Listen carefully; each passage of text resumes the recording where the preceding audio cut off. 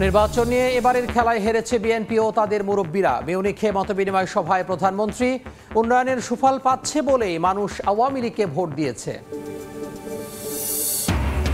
ভোটে কারচুপি ঘিরে পাকিস্তানে উত্তাপ। প্রধান নির্বাচন কমিশনার ও প্রধান বিচারপতির পদত্যাগের দাবি কেন্দ্র ও প্রদেশে সরকার গঠনের ঘোষণা দিল পিটিআই।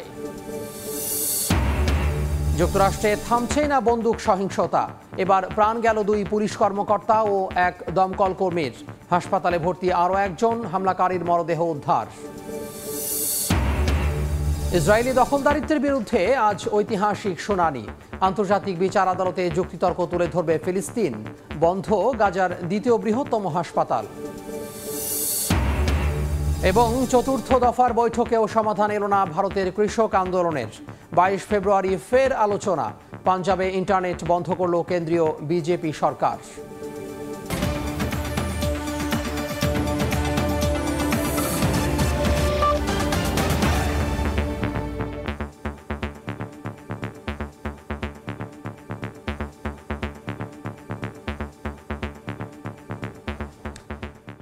আন্তর্জাতিক সময়ে সঙ্গে আছি আমি তোহা খান তামিম। এবারের নির্বাচন নিয়ে খেলতে গিয়ে বিএনপি ও তাদের মুরব্বীরা সফল হয়নি বলে মন্তব্য করেছেন প্রধানমন্ত্রী শেখ হাসিনা। জার্মানির মিউনিখে প্রবাসীদের সঙ্গে মতবিনিময়ে তিনি বলেন, জনগণ এবার স্বতঃস্ফূর্তভাবে ভোট দিয়েছে। উনিশশো পঁচাত্তরের পর এবারই সবচেয়ে সুষ্ঠু, নিখুঁত নির্বাচন হয়েছে। জনগণ আস্থা রেখেছে বলেই টানা চতুর্থবার আওয়ামী লীগ ক্ষমতায় এসেছে মন্তব্য করে শেখ হাসিনা প্রশ্ন রাখেন, মানুষ যদি ভোট দেয়, সেটা কি ক্ষমতাসীনদের দোষ? এদিকে চার দিনের সফর শেষে দেশের উদ্দেশ্যে রওনা দিয়েছেন সরকার প্রধান। জার্মানির মিউনিক থেকে বিস্তারিত জানাচ্ছেন বিটু বড়ুয়া। চার দিনের জার্মানি সফরের শেষ দিন প্রধানমন্ত্রী শেখ হাসিনার সঙ্গে দেখা করতে যান ইউরোপের বিভিন্ন দেশের আওয়ামী লীগ নেতাকর্মী সহ প্রবাসী বাংলাদেশিরা। মিউনিখে স্থানীয় সময় রোববার বিকেলে ইউরোপের নানা প্রান্তে থাকা এসব বাংলাদেশিদের সঙ্গে মতবিনিময় করেন সরকার প্রধান। প্রবাসী বাংলাদেশিদের সঙ্গে শেখ হাসিনার মতবিনিময়ে উঠে আসে বাংলাদেশের রাজনীতি প্রসঙ্গ। বলেন, এবারের নির্বাচন নিয়ে দেশে বিদেশে অনেকে খেলতে চাইলেও সফল হয়নি তারা। জনগণ উন্নয়নের সুফল পেয়েছে বলেই আরও একবার আস্থা রেখেছে আওয়ামী লীগের উপর। এবারে নির্বাচন আগে সে একই খেলা তারা খেলতে চেয়েছিল। আর এর সাথে তাদের আবার মুরব্বী আছে তারা ওই উস্কানি দেয়। যা সেই খেলাটায় তারা সফল হতে পারে নাই। জনগণ এবার স্বতঃস্ফূর্তভাবে ভোট দিয়েছে। উনিশশো পঁচাত্তর সালের পর এ পর্যন্ত যত নির্বাচন হয়েছে সব থেকে সুষ্ঠু নির্বাচন এই নির্বাচনটা। কোথাও এতটুকু খুঁত পায়নি। একটা রাজনৈতিক দল ক্ষমতায় থেকে মানে এক টানা চারবার নির্বাচিত হওয়া, যদি আমি মানুষের আস্থা, বিশ্বাস এবং ভালোবাসা অর্জন করতে না পারতাম, তাহলে এটা কখনো করতে পারতাম না। এটা তো মানুষ আমাদের উপর আস্থা, বিশ্বাস রেখেছে এবং আমাদের উন্নয়নের ফলাফলটা মানুষ পাচ্ছে। পাচ্ছে বলেই তো আমাদের ভোট দিয়েছে। এখন জনগণ যদি আমাদের ভোট দেয় সেটাকে আমাদের দোষ? মত বিনিময়ে বাংলাদেশে বিনিয়োগ করতে প্রবাসীদের প্রতি আহ্বান জানান সরকার প্রধান। তাগিদ দেন অপপ্রচারকারীদের বিষয়ে সজাগ থাকার। এখানে যারা আপনার কাজ করেন আপনারা নিজেরা পার্টনার খুঁজতে পারেন। আমরা ইনভেস্টমেন্ট করাতে পারেন দেশে। কারণ আমরা একশোটা অর্থনৈতিক অঞ্চল করে দিচ্ছি। সেখানে আমাদের ইনভেস্টমেন্ট দরকার। এই আমাদের কিছু লোক অনবর বাংলাদেশের ভাবমূর্তি নষ্ট করার চেষ্টা করে। তো এটা যেন করতে না পারে এ ব্যাপারেও যথাযথভাবে আমাদের সজাগ থাকতে হবে ব্যবস্থা নিতে হবে। অবৈধভাবে কেউ যেন বিদেশে পাড়ি না দেয় সে বিষয়ে সচেতনতা তৈরি করতেও প্রবাসীদের প্রতি আহ্বান জানান প্রধানমন্ত্রী। আমি জানি কি সোনার হরিণ খুঁজতে যে এসে ভূমধ্য সাগরে ডুবে মরা এটা খুবই কষ্টকর। স্থানীয় সময় রাত নটা দশ মিনিটে ঢাকার উদ্দেশ্যে জার্মানির মিউনিক ত্যাগ করেন প্রধানমন্ত্রী শেখ হাসিনা। নানা আনুষ্ঠানিকতায় শেষ হয়ে গেল ষাটতম মিউনিক সিকিউরিটি কনফারেন্স। আর এই সম্মেলনে বাংলাদেশের অর্জন অনেকখানি, বিশেষ করে বাংলাদেশে এই মুহূর্তে শিক্ষা, স্বাস্থ্য, আর্থসামাজিক উন্নয়ন, নারীর ক্ষমতায়ন এবং বিশ্বের শান্তি প্রতিষ্ঠায় প্রধানমন্ত্রী শেখ হাসিনার প্রশংসা করেছেন বিশ্ব নেতারা। আর এই অর্জিত সম্মান যাতে অক্ষুণ্ণ থাকে, সে কারণে দলের নেতাকর্মী সহ সর্বস্তরের প্রবাসীদের প্রতি আহ্বান জানিয়েছেন বঙ্গবন্ধু কন্যা। জার্মানির মিউনিক থেকে বিটু বড়ুয়া সময় সংবাদ। পাকিস্তান জুড়ে আবারও অস্থিরতা। ভোট জালিয়াতির অভিযোগে প্রধান নির্বাচন কমিশনার এবং প্রধান বিচারপতির পদত্যাগ দাবি করেছে পিটিআই। একই সঙ্গে দেশটির কেন্দ্র ও প্রদেশে সরকার গঠন করবে পিটিআই বলে মন্তব্য করেছেন দলটির মনোনীত প্রধানমন্ত্রী প্রার্থী ওমর আইয়ুব খান। চলমান উত্তেজনার কারণে একদিনের জন্য দেশটিতে সামাজিক মাধ্যম এক্স বন্ধ রাখা হয়েছে। এদিকে প্রেসিডেন্ট প্রার্থী হিসেবে বাবা আসিফ আলী জারদারি নাম মনোনীত করেছেন। পিপিপির চেয়ারম্যান বেলওয়াল ভুট্টো রোববারও পাকিস্তান জুড়ে বিক্ষোভ করে পিটিআই সমর্থকরা। নির্বাচনে কারচুপির দায় স্বীকার করে পদত্যাগ করা রাওয়ালপিন্ডির কমিশনার লিয়াকত আলী আত্মসমর্পণ করেছেন। তার এই স্বীকারোক্তির পর নতুন করে বাড়ছে উত্তাপ। উঠেছে প্রধান নির্বাচন কমিশনার ও প্রধান বিচারপতির পদত্যাগের দাবি। একই সঙ্গে বিচার বিভাগীয় তদন্তের দাবি জানিয়েছে ইমরান খানের দল তেহরিক ইনসাফ, পিটিআই। উত্তেজনা আরও বাড়ার সংখ্যায় সোমবার একদিনের জন্য দেশটিতে সামাজিক মাধ্যম এক্স বন্ধ রাখা হয়েছে। এদিকে আবারও পাকিস্তানের সরকার গঠনের ঘোষণা দিল পিটিআই। দলটির মনোনীত প্রধানমন্ত্রী প্রার্থী ওমর আয়েব খান বলেছেন, দেশের জনগণ ইমরান খানকে চায়। আর তাই কেন্দ্র ও প্রদেশে সরকার গঠন করবে পিটিআই। এজন্য স্বতন্ত্র বিজয়ী প্রার্থীরা দেশটির ধর্মভিত্তিক রাজনৈতিক দল সুন্নি ইতিহাদ কাউন্সিলের সঙ্গে জোট করার সিদ্ধান্ত নিয়েছে। নির্বাচনের দশ দিন পেরিয়ে গেলেও এখনও জোট সরকার গঠনে সমঝোতায় পৌঁছাতে পারেনি পিএমএলএন এবং পিপিপি। প্রেসিডেন্ট আরিফ আলবি উনত্রিশ ফেব্রুয়ারির আগে জাতীয় পরিষদের অধিবেশন আহ্বান করবেন বলে জানা গেছে। পার্লামেন্ট পরবর্তীতে নতুন প্রধানমন্ত্রী নির্বাচন করবে। জোট সরকারে না থাকলেও প্রেসিডেন্ট প্রার্থী হিসেবে বাবা আসিফ আলী জারদারির নাম মনোনীত করেছেন পিপিপির চেয়ারম্যান বিলাল ভুট্টো। Forward রাহানুল রানা সময় সংবাদ। এবার যুক্তরাষ্ট্রে বন্দুক হামলায় মারা গেলেন দুই পুলিশ কর্মকর্তা ও এক দমকল কর্মী।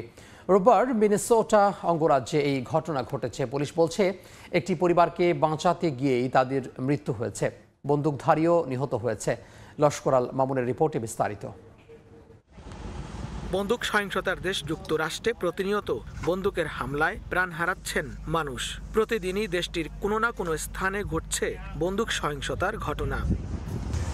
এরই ধারাবাহিকতায় রোববার মিনেসোটা অঙ্গরাজ্যে ভয়াবহ হামলায় প্রাণ হারালেন দুই পুলিশ কর্মকর্তা ও এক দমকল কর্মী। স্থানীয় প্রশাসনের বরাতে পুলিশ জানিয়েছে, একটি বাড়ি থেকে জরুরি ভিত্তিতে সহায়তা চেয়ে ফোন আসার পর দ্রুত সেখানে চলে যান নিরাপত্তা বাহিনীর একটি দল। তবে তাদের পৌঁছানোর আগেই দমকল বাহিনীর এক কর্মী ঘটনাস্থলে পৌঁছান। পরে ভেতর থেকে তাদের লক্ষ্য করে গুলি চালানো হয়। এতে ঘটনা এ ঘটনায় গুরুতর আহত অবস্থায় আরও এক পুলিশকে হাসপাতালে ভর্তি করা হয়েছে।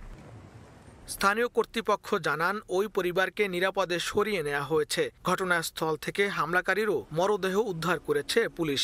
তবে তার মৃত্যু কীভাবে হয়েছে তা এখনও জানা যায়নি। এ ঘটনায় আতঙ্কিত না হয়ে সবাইকে স্বাভাবিকভাবে চলাচল করতে বলেছেন অঙ্গরাজ্যটির গভর্নর। লস্কর আল মামুন, সময় সংবাদ, যুক্তরাষ্ট্র।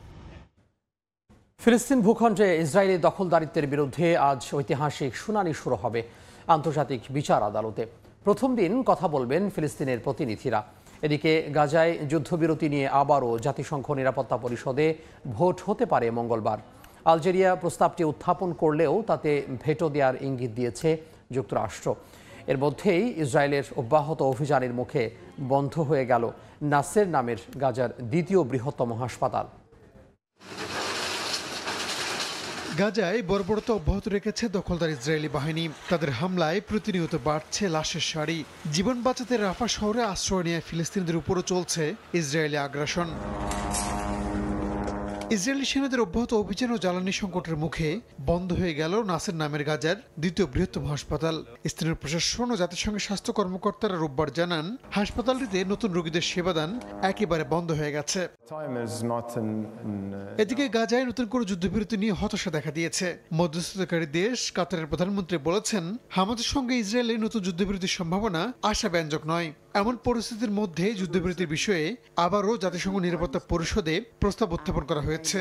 সদস্য রাষ্ট্র আলজেরিয়ার আনা এই প্রস্তাবের উপর মঙ্গলবার ভোটাভুটি হতে পারে। তবে উদ্যোগেও বাদ সেধেছে যুক্তরাষ্ট্র। এরই মধ্যে প্রস্তাবের উপর ভেটুদের ইঙ্গিত দিয়েছে দেশটি.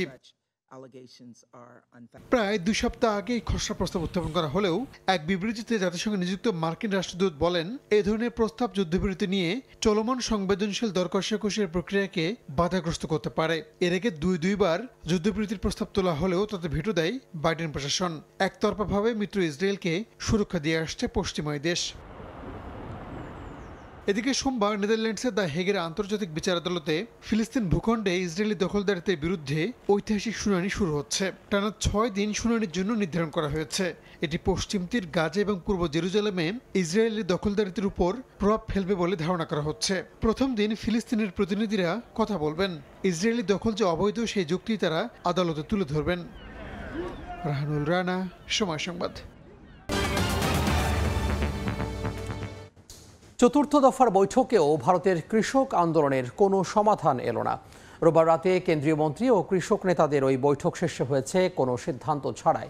আগামী বাইশ ফেব্রুয়ারি পুনরায় আলোচনায় বসবেন উভয় পক্ষ। এদিকে চব্বিশ ফেব্রুয়ারি পর্যন্ত পাঞ্জাবে ইন্টারনেট বন্ধের সময়সীমা বাড়িয়েছে কেন্দ্রীয় বিজেপি সরকার।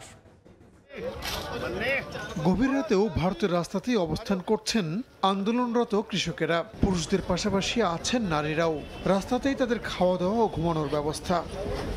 রোববার রাতে চতুর্থ দফায় পাঞ্জাবে বৈঠকে মিলিত হন কেন্দ্রীয় মন্ত্রী ও কৃষক নেতারা। দীর্ঘ সময় ধরে চলে উভয় পক্ষের আলোচনা। এতে যোগ দেন পাঞ্জাবের মুখ্যমন্ত্রীও। যদিও প্রথম তিন দফার মতোই এবারের আলোচনাতেও আসেনি সংকট সমাধানের কোনো ঘোষণা। সরকারের পক্ষ থেকে অগ্রগতির কথা জানানো হলেও দাবি আদায় না হওয়া পর্যন্ত ঘরে ফিরে যাবেন না কৃষকেরা বলে জানানো হয়েছে।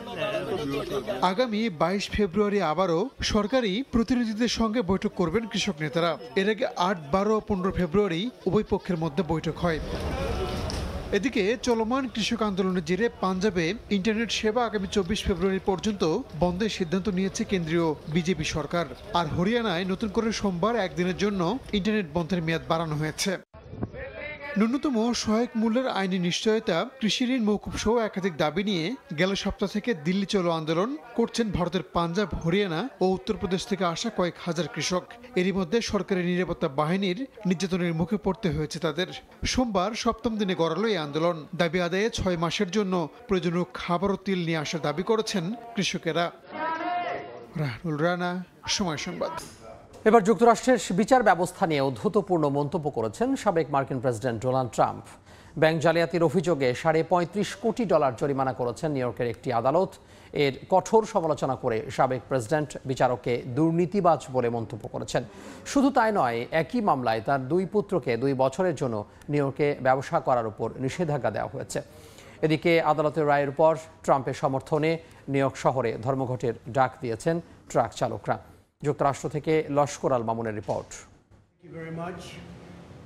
জালিয়াতি করে ব্যাংক ঋণ ও বিমা সুবিধা নেওয়ার অভিযোগে গেল শুক্রবার ডোনাল্ড ট্রাম্প ও তার ব্যবসা প্রতিষ্ঠানের বিরুদ্ধে প্রায় সাড়ে পঁয়ত্রিশ কোটি ডলার জরিমানা করেন নিউ ইয়র্কের ম্যানহাটনের একটি আদালত। আদালতের ওই রায়ের বিরুদ্ধে আপিলের ঘোষণা দিলেও রায় দেওয়া বিচারকের ওপর খেপে যান ডোনাল্ড ট্রাম্প। নিউ ইয়র্কের ফেডারেল আদালতের বিচারক আর্থার এনগ্রনকে একজন দুর্নীতিবাজ আখ্যা দিয়ে ট্রাম্প বলেন তিনি কোনো সম্মানিত ব্যক্তি নন।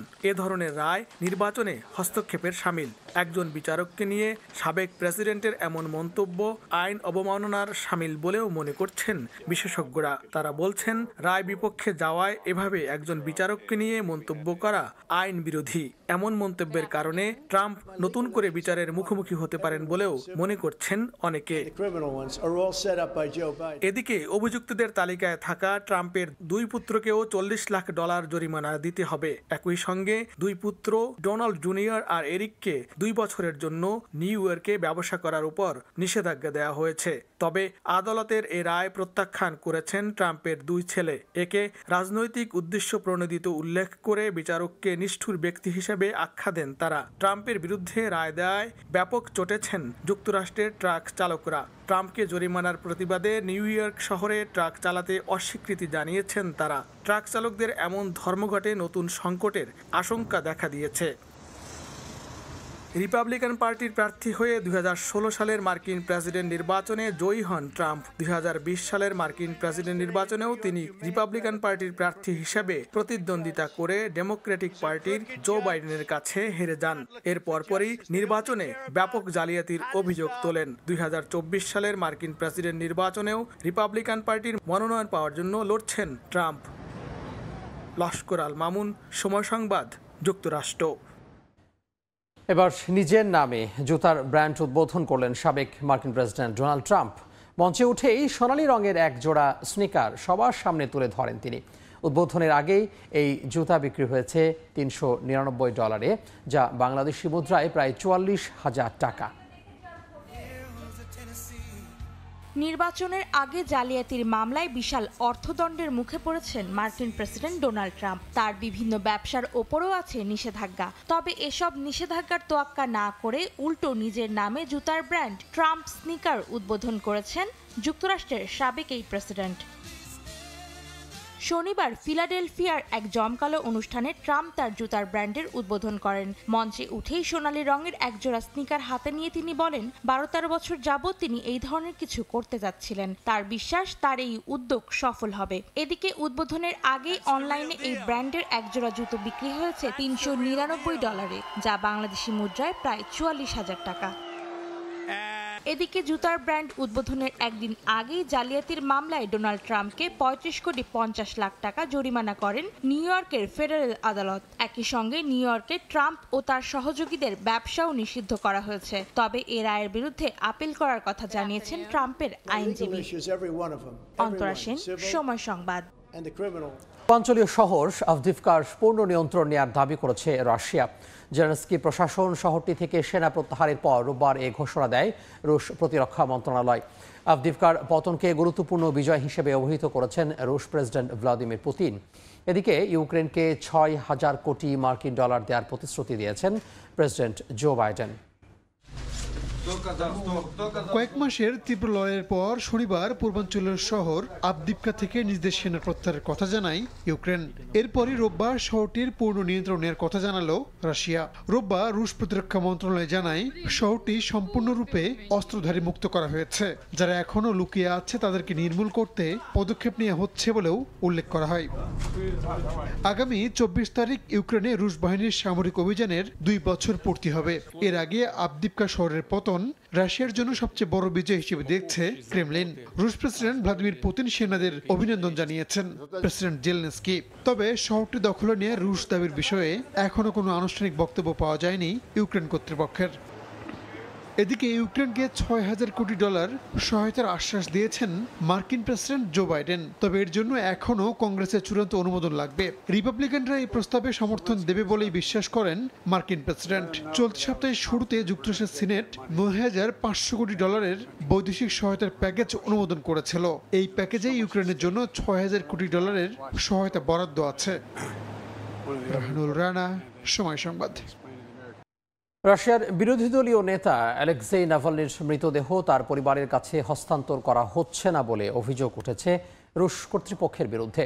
নাভালনির মায়ের দাবি লুকিয়ে রাখা হয়েছে তার ছেলেকে। এই মৃতকে হত্যাকাণ্ড বলে উল্লেখ করে প্রমাণ লোপাট করতেই মরদেহ হস্তান্তর করতে দেরি করা হচ্ছে বলে অভিযোগ নাভালনির মুখপাত্রের। রাশিয়ার কারাবন্দী বিরোধী নেতা এবং প্রেসিডেন্ট ভ্লাদিমির পুতিনের কট্টর সমালোচক অ্যালেক্সেই নাভালনির মৃত্যুর ধোঁয়াশা যেন কাটছেই না। এবার নাভালনির মৃতদেহ লুকিয়ে রাখা হয়েছে বলে দাবি করেছেন তার মা লুদমিয়া বিবিসির এক প্রতিবেদনে জানা যায়, শনিবার আর্কটিকের মাইনাস তিরিশ ডিগ্রি সেলসিয়াস তাপমাত্রা উপেক্ষা করেই ছেলের মৃতদেহ গ্রহণ করতে কারাগারে যান তার মা ও আইনজীবী। কিন্তু সেখান থেকে বলা হয়, নাভালনির মৃতদেহ নিয়ে যাওয়া হয়েছে সালেখার্ডের মর্গে। পরে মর্গে গিয়ে দেখা যায়, সেটি বন্ধ। এ নিয়েই শুরু হয়েছে তুমুল সমালোচনা। এদিকে নাভালনির মৃত্যুকে পরিকল্পিত হত্যাকাণ্ড বলে দাবি করে মুখপাত্র কিরা ইয়ারমিশ বলেন হত্যার প্রমাণ লোপাট করতেই লুকিয়ে রাখা হয়েছে মরদেহ। এদিকে নাভালনির মৃত্যু আকস্মিক হওয়ায় এই ঘটনার তদন্ত শেষ না হওয়া পর্যন্ত মৃতদেহ পরিবারের কাছে হস্তান্তর করা হবে না বলে জানিয়েছে রুশ কর্তৃপক্ষ। কিন্তু এ মৃত্যুর বিষয়টি নিয়ে এখনও সন্দিহান তার স্ত্রী ইউলিয়া নাভালনায়া। তিনি রুশ সরকার কিংবা কারা কর্তৃপক্ষ কারোর কথাই বিশ্বাস করতে পারছেন না। Uh, রাশিয়ার আইন অনুযায়ী কোনো কারাবন্দী মারা গেলে দুই দিনের মধ্যে তার মৃতদেহ স্বজনদের কাছে হস্তান্তর করতে হয়।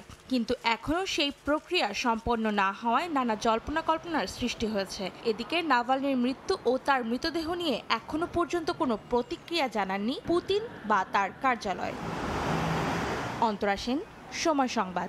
প্যারোলে মুক্তি পেয়েছেন থাইল্যান্ডের সাবেক প্রধানমন্ত্রী থাকসিন সিনাওয়াত্রা রোববার স্থানীয় সময় সকালে থাকসিনকে তার বাসভবনের সামনে একটি গাড়িতে দেখা যায়।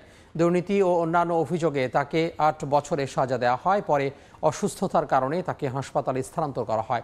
বয়স এবং স্বাস্থ্যের অবস্থা বিবেচনা করে রাজকীয় ক্ষমার অধীনে তার সাজা এক বছরে কমে আসে।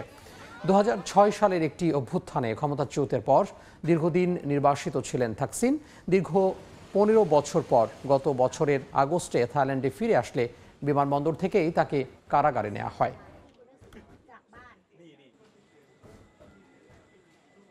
জাতিক সময়। তুষারঝড়ে বিপর্যস্ত চীনের উত্তর পশ্চিমাঞ্চলের জিনজিয়াং প্রদেশের উইঘর অঞ্চল। রোববার দেশটির রাষ্ট্রীয় সংবাদ মাধ্যম সিসিটিভি জানায়, চন্দ্রবর্ষের ভ্রমণ থেকে ফেরার সময় তুষারপাতের ভয়াবহতায় মহাসড়কে আটকে গেছেন বহু যাত্রী।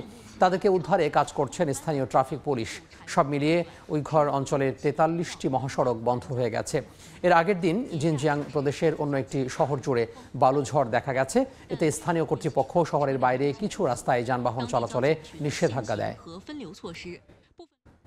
বলিভিয়ার পশ্চিমাঞ্চলে ভারী বৃষ্টিতে সৃষ্ট ভূমিধসে প্রাণ হারিয়েছেন অন্তত তিনজন। স্থানীয় সময় শনিবার দেশটির রাজধানী লা পাজে এ ঘটনা ঘটে। এতে গৃহহীন হয়ে পড়েন ষাটটি পরিবার। চরম ভোগান্তিতে দিন পার করছেন বাসিন্দারা। ক্ষতিগ্রস্ত হয়েছে বহু স্থাপনাও। মাটির নিচে চাপা পড়েছে কমপক্ষে দশটি বাড়ি। খবর পেয়ে দ্রুতই ঘটনাস্থলে পৌঁছায় উদ্ধারকর্মীরা। তাৎক্ষণিক শুরু করে উদ্ধার কার্যক্রম। এদিকে আগামী বুধবার পর্যন্ত শহরটিতে কমলা সতর্কতা জারি করেছে স্থানীয় কর্তৃপক্ষ।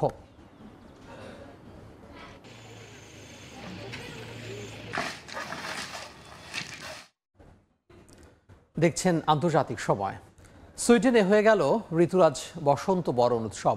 দেশটির বিভিন্ন স্থানে প্রবাসী বাংলাদেশিদের পরিচালিত বিভিন্ন সাংস্কৃতিক সংগঠনের উদ্যোগে এই উৎসবের আয়োজন করা হয়। সুইডেন থেকে বিস্তারিত জানাচ্ছেন শফিউল আলম। লেগেছে শুধু সুইডেনেও। গান, কবিতা, নাচ আর সঙ্গে দেশীয় নানা স্বাদের খাবারের পসরা সাজিয়ে সুইডেনে বরণ করা হয় ঋতুরাজ বসন্তকে। বসন্ত বরণ অনুষ্ঠানে দেশীয় সাজসজ্জায় প্রবাসী বাংলাদেশিদের সরব উপস্থিতি এক আনন্দমুখর পরিবেশের সৃষ্টি করে। বাংলাদেশের ঐতিহ্যবাহী নানা স্বাদের খাবারের আয়োজন ছিল চোখে পড়ার মতো। শিশু কিশোরদের উৎসাহ দেখে মনে হয়েছে বিদেশের বুকে যেন এক টুকরো বাংলাদেশ। কবি বলেছে ফুল ফুটুক আর নাই ফুটুক আজ বসন্ত। বাইরে যদিও অনেক ঠান্ডা এবং স্নো কিন্তু আমাদের মনে বসন্ত। পুরো বাংলাদেশের যে সবকিছু মনে পেয়ে গেছে আজকে এই অনুষ্ঠানের ক্ষেত্রে। খুবই ভালো লাগছে এরকম অনুষ্ঠান আমরা আরও চাই। আমরা এখানে ফাল্গুনের বসন্তের মেলা করছি। সবার আয়োজনে অসম্ভব সুন্দর একটা মেলা হচ্ছে। ছোট্ট যে বাংলাদেশটা আমরা সুইডেনে রিপ্রেজেন্ট করতে পারতেছি। যারা অর্গানাইজ করেছেন এই প্রোগ্রামটা এত সুন্দর করে। আমাদের অনেক ভালো লাগতেছে পরবর্তী প্রজন্ম যেন আমাদের বাংলাদেশের কালচারটাকে যেন হচ্ছে ধারণ করতে পারে এই জন্য। ও একদমে অনেকগুলো প্রশ্ন করল। সুইডেনের এমন কনকনে শীতেও উষ্ণতা ছড়িয়েছে বসন্ত বরণ উদযাপন। উৎসবে অংশ নিতে পেরে খুশি আগত প্রবাসী বাংলাদেশিরা। শফিল আলম সময় সংবাদ সুইডেন। আন্তর্জাতিক সময়। উত্তর আমেরিকান বঙ্গ সম্মেলন বা নর্থ আমেরিকান বেঙ্গলি কনফারেন্স গত প্রায় চার দশক ধরে কালচারাল অ্যাসোসিয়েশন অফ বেঙ্গল বা বঙ্গ সংস্কৃতি সংঘ বার্ষিকে কনফারেন্সের আয়োজন করে থাকে। বিশ্ব বাঙালি সম্মেলনের এবারের চুয়াল্লিশতম আসর বসছে যুক্তরাষ্ট্রের শিকাগোতে। চলতি বছরের আয়োজনকে সামনে রেখে শনি ও রবিবার ক্যালিফোর্নিয়ার আর্টিশিয়া এবং ওক পার্ক শহরে এক মতবিনয় সভা করা হয়। বাঙালির সর্ববৃহৎ মিলন মেলায় থাকছেন জনপ্রিয় সংগীত শিল্পী শ্রেয়া ঘোষাল সহ ভারত ও বাংলাদেশের সবিজ অঙ্গনের সব তারকা। বাংলা ভাষা ও দেশের সংস্কৃতি বিদেশিদের মাঝে ছড়িয়ে দিতে ইতালিতে অনুষ্ঠিত হল বহুজাতিক সাংস্কৃতিক সন্ধ্যা। ইতালি থেকে হাসান মাহমুদের রিপোর্ট।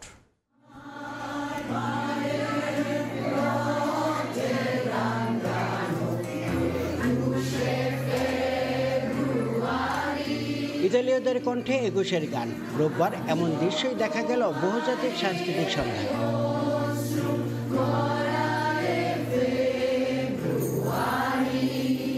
বাংলাদেশের ভাষা ও সংস্কৃতি নতুন প্রজন্ম এবং বিদেশিদের মাঝে তুলে ধরতে সঞ্চারী সঙ্গীতায়ন প্রতি বছর আয়োজন করে থাকে এই অনুষ্ঠানে। ইতালির রাজধানী রোমে আমার ভাষা, আমার অহংকার শিরোনামের এই অনুষ্ঠানটিতে বাংলাদেশি ছাড়াও ইতালীয় ফিলিপিন্স শ্রীলঙ্কা এবং ভারতীয় নাগরিকরা অংশগ্রহণ করে।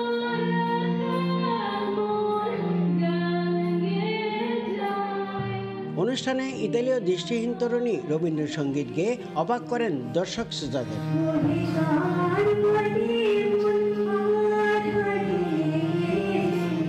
অনুষ্ঠানে অনুষ্ঠানে আগত প্রবাসী বাংলাদেশিরা বলছেন নিজেদের ভাষা ও সংস্কৃতি বিদেশিদের মাঝে তুলে ধরতে পেরে আনন্দিত তারা। আমরা বিশ্বাস করি সংস্কৃতিই পারে একটি দেশকে তার দেশের মাঝে তুলে ধরতে।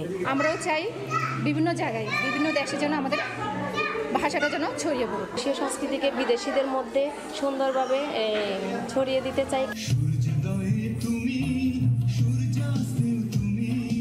সঞ্চারী সঙ্গীতায়নের এই অনুষ্ঠানে বাংলাদেশি সহ বিভিন্ন দেশের শিশু কিশোর এবং বড়রা নৃত্য পরিবেশন করেন। ইতালির রোম থেকে হাসান মাহমুদ সময় সংবাদ। আন্তর্জাতিক সময়ের শীর্ষ সংবাদগুলো জানিয়ে দিব আরও একবার। নির্বাচন নিয়ে এবারের খেলায় হেরেছে বিএনপি ও তাদের মুরব্বীরা। মিউনিখে মতবিনিময় সভায় প্রধানমন্ত্রী, উন্নয়নের সুফল পাচ্ছে বলে মানুষ আওয়ামী লীগকে ভোট দিয়েছে। ভোটে কারচুপি ঘিরে পাকিস্তানে উত্তাপ। প্রধান নির্বাচন কমিশনার ও প্রধান বিচারপতির পদত্যাগের দাবি কেন্দ্র ও প্রদেশে সরকার গঠনের ঘোষণা দিল পিটিআই। এবং যুক্তরাষ্ট্রে থামছে না বন্দুক সহিংসতা। এবার প্রাণ গেল দুই পুলিশ কর্মকর্তা ও এক দমকল কর্মীর। হাসপাতালে ভর্তি আরও একজন। হামলাকারীর মরদেহ উদ্ধার।